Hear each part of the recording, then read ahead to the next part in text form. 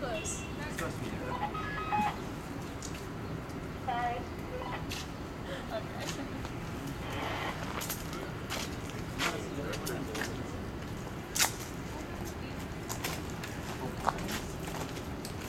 Uh, are to do.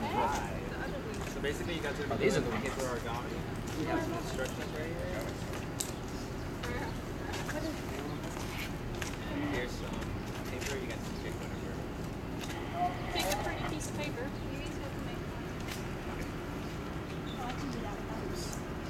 Use some extra. Well, then you can help your teammates too. There. One crane per person. You can either keep your crane or give it to us and we'll hang it on a Christmas tree. Doing it. Can we start? Yeah, y'all can go ahead and start. Y'all can use that table if y'all want.